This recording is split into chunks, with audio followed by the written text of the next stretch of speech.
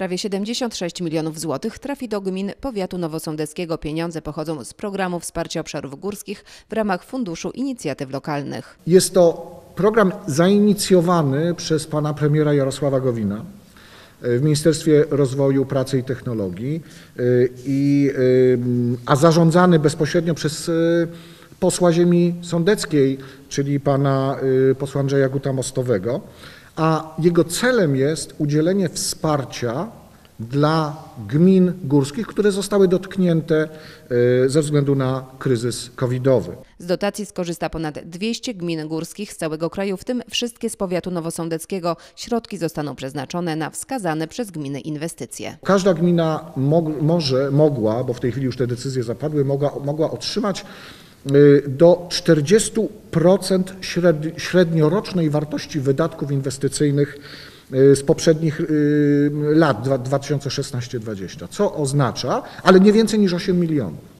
Obecni na konferencji prasowej samorządowcy podkreślali, jak duże znaczenie dla rozwoju gmin, szczególnie w tak trudnym okresie, mają przyznane środki. Nowy Sącz, który otrzymał maksymalną pulę, czyli 8 milionów złotych, chce je przeznaczyć na rewitalizację i poprawę infrastruktury. Część środków od razu chcieliśmy przeznaczyć na dofinansowanie inwestycji na 29 e, listopada. Drugą taką drogą, którą chcemy w tym roku wyremontować, to ulica Muńska razem z rondem pod szpitalem, który jest w, w złym stanie. Rewitalizacja kocich plant, między innymi dzięki właśnie temu programowi stanie się e, w tym roku faktem. E, To ma być przestrzeń, gdzie e, sądeczanie wrócą na, na spacery. I oczywiście też to, co mieszkańcy pewnie zauważą, to całkowita rewitalizacja zielono-niebieską infrastrukturą otoczenia szkoły podstawowej nr 15. Stary Sącz przyznane środki w wysokości 8 milionów złotych przeznaczy m.in. na budowę wiszącej ścieżki łączącej Park and Ride z centrum miasta, budowę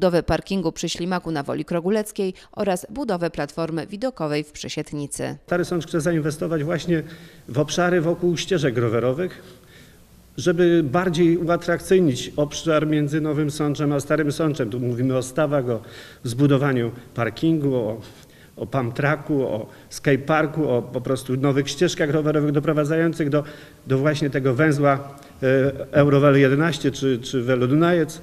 Muszyna w ramach programu wsparcia otrzymała 7 milionów złotych. Pójdą między innymi na budowę wieży widokowej na Malniku. Drugi e, wniosek dotyczył zagospodarowania terenu, który Państwo zapewne znacie, pod, nad potokiem Szczawni, gdzie już jest e, tak zwana siłownia zewnętrzna dla seniorów na dużej przestrzeni, ścieżki e, spacerowe, ścieżki rowerowe. Chcemy to przekształcić w taki bardzo nowoczesny, duży park rodzinny. Trzecie zadanie, które chcemy z tego zrealizować, to jest skomunikowanie i to jest niezwykle ważne też zadanie, skomunikowanie ścieżek rowerowych, które prowadzą od Krynicy do Muszyny i dalej Eurowelo na Słowację, dalej do, do Starego Sącza, do Nowego Sącza, e, w Powroźniku. Również 7 milionów złotych trafi do gminy Łącko. Zamierzamy e, dokończyć, wykonać e, wieżę widokową na Górze Modryń. Prace tam też są już bardzo zaawansowane, fundamenty zostały wylane i termin ich ukończenia przewidywany jest na koniec czerwca tego roku. E, Planujemy również przeznaczyć te środki na zagospodarowanie e, naszej perełki, czyli e, Góry Zyndrama, warowni na górze, na górze Zyndrama. Również w szczególności chcemy w dalszym ciągu rozbudowywać nasz produkt lokalny, czyli e, ścieżki biegowo-rowerowe I jak dodaje wójt Łącka, część pieniędzy zostanie także przeznaczona na budowę Centrum Kultury i Edukacji Muzycznej.